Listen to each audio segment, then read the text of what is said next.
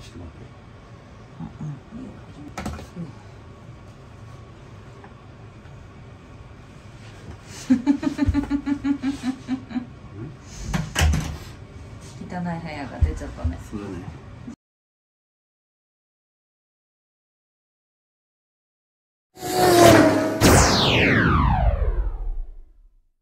はいこん。にちはソララジの、えー、空のパパです、よろしくお願いします。5歳児と一緒にラジコンやってます。この動画は DT03 を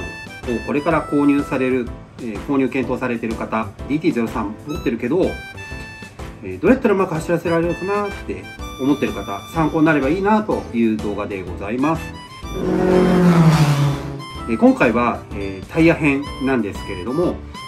タイヤ以外にも実際にこんな風に走ってるよっていう動画もアップしてますし、えーメーカー類だったりその他の解説動画もありますのでそちらも合わせてご確認いただけると、えーよりこの動画見ていただけるって内容が入っていくかなと思いますので、えー概要欄から、えーチェックをお願いいたします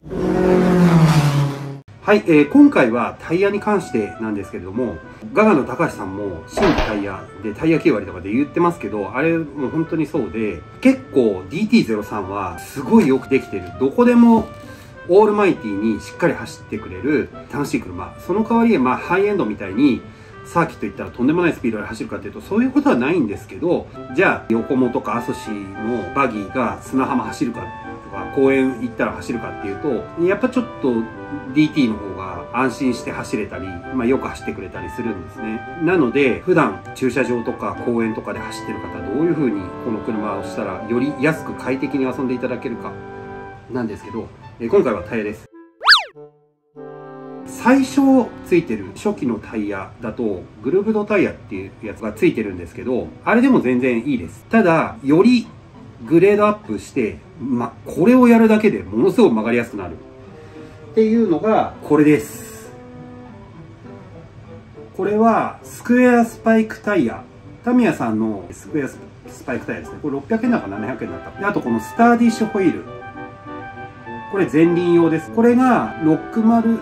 6020だったかな。ちょっと最初からついてるホイールよりも太いホイールで肉用のタミヤのえホイール前輪っていうやつですね。スターディッシュホイールってやつです。これはあの DT03 にもマッチしますしフロントのタイヤをですねこのスクエアスパイクタイヤこれに変えるだけで公園ラジコンがめちゃくちゃ快適になります。ポン付けです。よく多分皆さんあの DT03 で曲がんないなって思う方はここを六角ハブに変える方法っていうのをいろいろ検索したら出てくると思うんですよねあの DT03 フロントホイールとかで検索するとそういうのいっぱい出てくるんですけどあれはあれでいいです。いろんなホイールが装着できるし、選択肢の幅が広がるっていうこともあるので、そういう手を入れる楽しさとかもありますし、全然いいと思います。ただ、お仕事帰ってきて、毎日1時間か2時間お子さんのためにとか、自分のために、趣味のためにとかで、えーラジコンやられてる方、手軽にもうちょっと走る車が欲しいですよねってなった時は、私のおすすめはやっぱこれ。スターディッシュホイール。タミヤのスターディッシュホイールで、えー 2WD フロント用にスクエアスパイクタイヤ。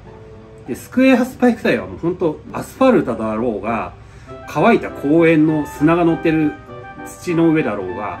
なんだろうが、よく走ります。しかも減りにくい。すごく減りが遅いというか、減りにくい。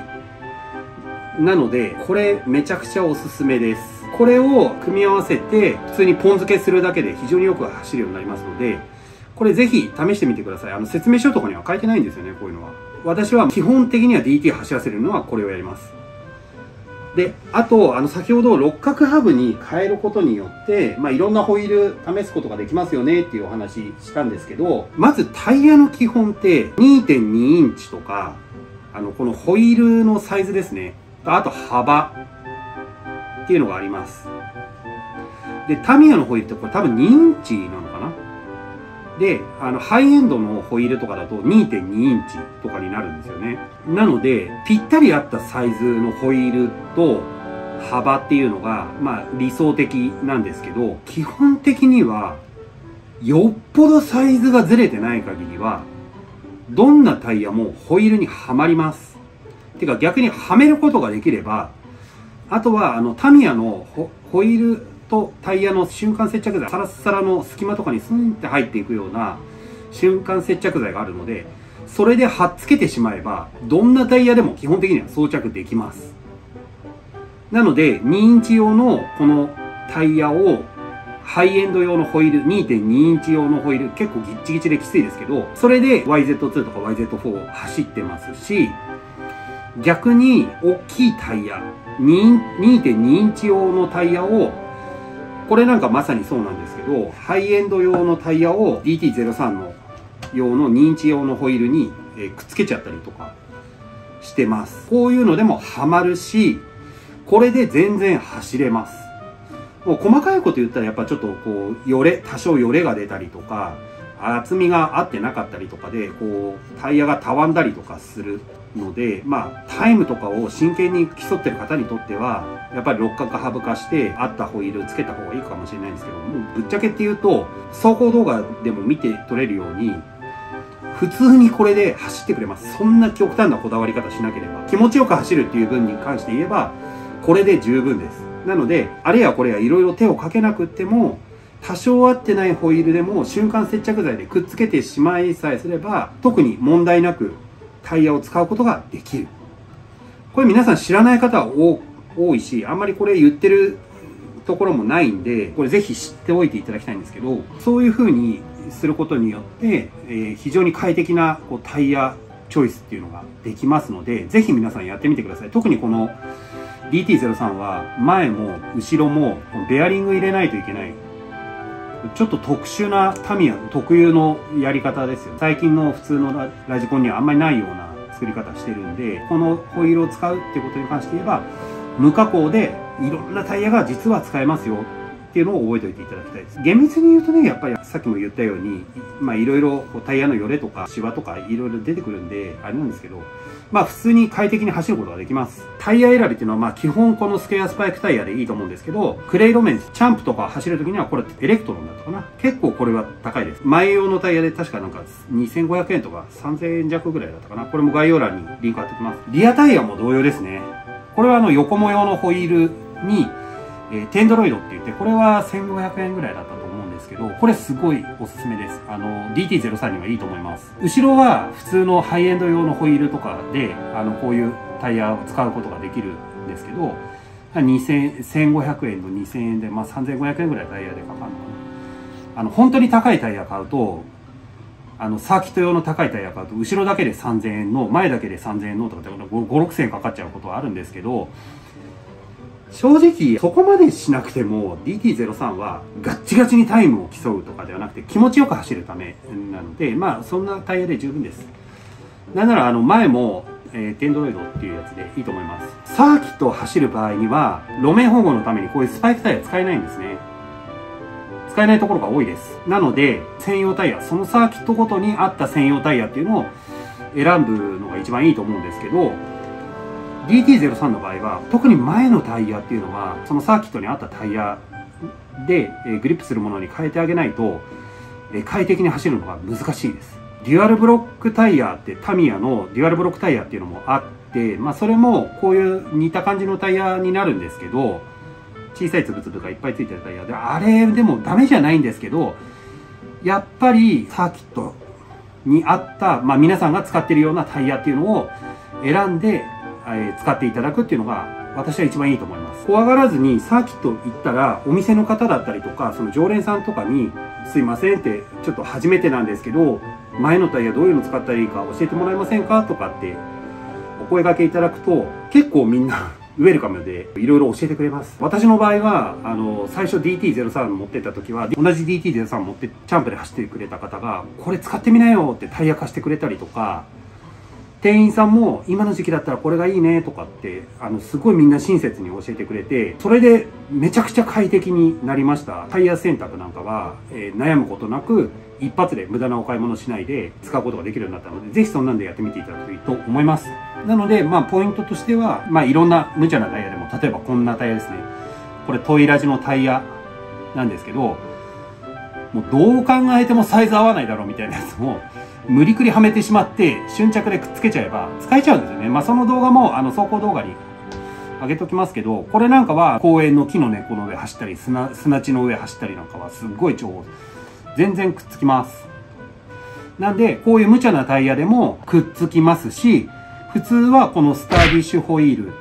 これにあのスクエアスパイクタイヤ、これでもう8割方対応できます。どんな路面でも。ただサーキットに行くってなったら今度はこういうそのサーキット用のそのサーキットに合ったタイヤっていうのを選択してくっつけていただければ、よりそのサーキット走行が快適になります。六角ハブ、ここを、あの、前後、えー、ベアリングでこの丸い穴が開いてますよね。タミヤの肉っていうのは、ここにベアリングが入って、裏にもベアリングが入って、っていう作りになってるんですけど、普通はここ六角って言って、六角のネジ大きい六角がついてて、それをはめるっていう形になってるんですよね。でも、それをやらなくても、基本的にはこの瞬間接着剤でタイヤ貼っつけてしまえば、まあ、ホイールの選択肢はちょっとあんまりないですけどね。ただ、タイヤを選ぶっていう意味では、もうほとんど問題なく使っていくことができますよ。で、しかも、加工全くしないでも、瞬間接着剤でタイヤとホイールをくっつけるだけで、その場所場所にあったタイヤを選択することができるようになります。忙しいパパさんとか、ちょっと難しい加工はあんまりできないかなっていうお子さんたちなんかにとってもすごくいい内容かなと思います。はい。DT03 のことに関して、もしタイヤとかのことに関してご質問ありましたら、ぜひコメント欄までコメントいただければと思います。私もプロとかではないので、詳しい方よりかは知識はないんですけど、少なくとも今までやってきたことに関してはお答えすることができますので、これから始めてみたい方、今やってるけど、なんかよくわかんないなってなっちゃってる方なんかは、私がわかる範囲であればお答えをさせていただきますので、えー、ぜひコメント欄にコメントいただければと思います。今回の動画はこちらで以上でございます。この動画気に入っていただけましたら、いいねとチャンネル登録ですね、ぜひよろしくお願いします。本編の方では、空がですね、世界チャンピオンを目指してます。その道のりをですね、チャンプなんか練習ですとか、普段の練習。それから公園の遊んでラジコンを使ってるなんていうところも見ていただけますのでぜひそちらもチェックをしていただければと思います。それではまた次の動画で。いいしょちょっと照れがあるね。うん